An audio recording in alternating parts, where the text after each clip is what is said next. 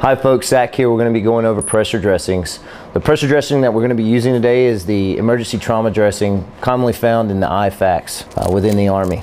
Once you have the wound packed, again we're going to use the one for one uh, replacement here. So I'm going to maintain pressure using my thumb, any other digit uh, that I can, and then I'm going to expose the sterile portion, which looks like this. Place it over the combat gauze and as I wrap, maintain pressure, being sure that I don't pull the combat gauze off of the wound, out of the wound, and being sure to lock in the sterile field that's over that combat gauze.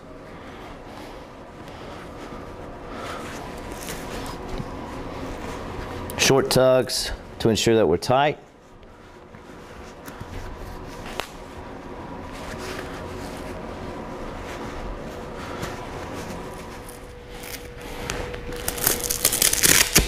Till we get to the Velcro portion of the emergency trauma dressing.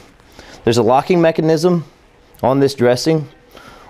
Once we've Velcroed, we want to pull up a piece of the, a, a portion of the wrap and secure it in place with these teeth. That completes uh, pressure dressing.